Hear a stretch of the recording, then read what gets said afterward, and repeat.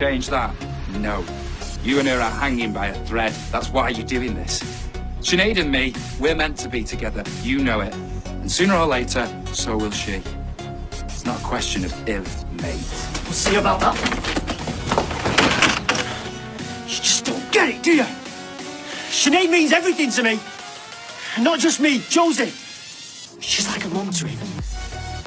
I'd like you to take that away from me. Chesney, put the brick down. All you've done since you came here is absolutely ruined my life. Not anymore. Sorry. You ask me this. Oh. Oh. Oh.